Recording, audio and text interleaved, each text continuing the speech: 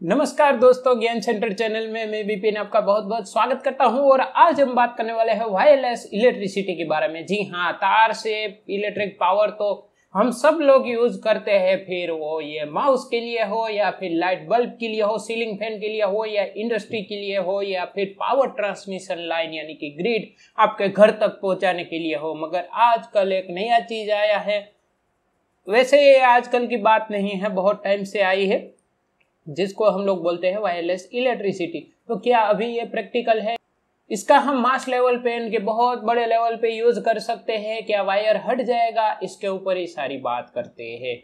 सबसे पहले बात कर लेते हैं जो आजकल बहुत ही फ़ेमस चल रहा है, उसके ऊपर के वायरलेस मोबाइल चार्जिंग जी हाँ ये डिवाइस को चार्ज करने के लिए वायरलेस चार्जर आ गया है, ठीक है? आप उसके ऊपर ये मोबाइल रखिए मोबाइल चार्ज हो जाएगा।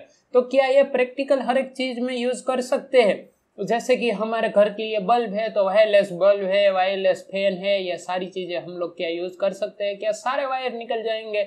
उसके ऊपर शुरुआत से बात करते हैं। सबसे पहले एक बात समझ लेते हैं कि एक मोबाइल डिवाइस को चार्ज करने में कितने वोल्ट की यहाँ पे ज़रूरत रहती है और कौन से वोल्ट कौन से मेरा मतलब यहाँ पे है डीसी इलेक्ट्रिसिटी या फिर एसी इलेक्ट्रिसिटी देखिए मोबाइल चार्ज जो भी होते हैं, वो पाँच वोल्ट से लेके बीस वोल्ट तक ये फास्ट चार्जिंग आ गया तो मैं यहाँ पे बीस वोल्ट का यूज़ कर रहा हूँ।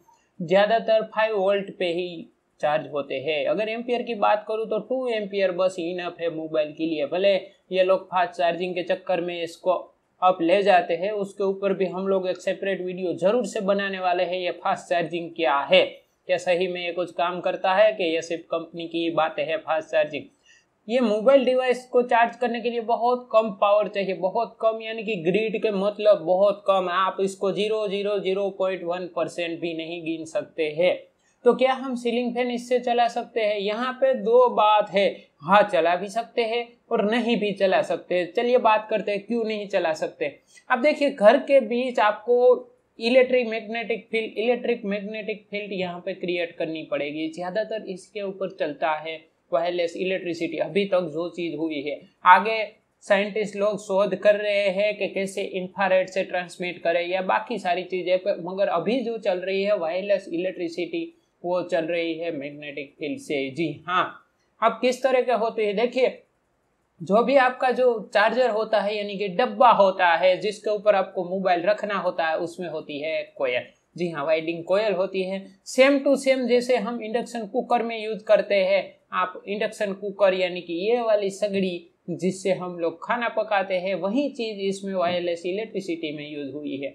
नीचे एक कोयल होती है मोबाइल के साथ एक छोटी सी कोयल मोबाइल के पीछे बैक कवर में, या फिर अलग से भी अटैचमेंट आ जाता है वायरलेस चार्जिंग का। वो कोयल लगा देते हैं, वहाँ से इलेक्ट्रिसिटी मैग्नेटिक फ़ील्ड के ज़रिए यहाँ पे ट्रांसमिट होती है। मगर इसमें भी एक बड़ी प्रॉब्लम है। ये काम करता है एक दो सेंटीमीटर पे ही। जी हाँ आप इसको कुछ एम mm तक दूर ले जाएँगे। मैं यहाँ पे एम mm की बात कर रहा हूँ। कुछ एम mm तक दूर ले जाएँगे या कुछ सेंटीमीटर इंच की बात नहीं कर रहा हूँ। दूर ले जाएँगे तो वो डिस्कनेक्ट हो जाएगा और पावर लॉसेस इसमें सबसे ज़्यादा होता है। तो आज की टेक्नोलॉजी ये चीज़ पे डिपेंड रहते हैं। एक दो एम क्या आप अपने सीलिंग फ़ैन या फिर बल्ब को वायरलेस इलेक्ट्रिक के चक्कर में एक बड़ा सा डिब्बा लगा के उसके बल्ब के पास और वहाँ पे कोयल लगाएँगे क्या? ये डिब्बा हर एक जगह पे लगाएँगे। फिर वो डब्बा किससे चलता है? वो डब्बा चलता है वायर से। तो ये अभी प्रैक्टिकल चीज़ अवेलेबल नहीं है। भले आगे जाके हम हाई फ्रीक्वेंसी का यूज़ करके भी चला सकते हैं, मगर इसमें भी एक बड़ी प्रॉब्लम है।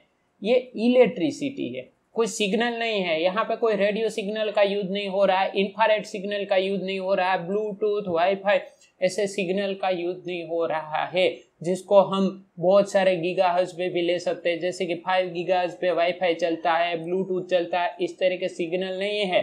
उसमें जो वर्ड होते हैं, वो मिली एम्पियर में होते हैं, ठीक है? इसमें हमें एम्पियर में इलेक्ट्रिसिटी ट्रांसमिट करनी है। जी हाँ तो इलेक्ट्रिसिटी इस तरह से हम नहीं ट्रांसमिट अभी के लिए कर सकते हैं। जहाँ तक ग्रिड की बात है, भैया, अभी ये चीज़ पॉसिबल नहीं है।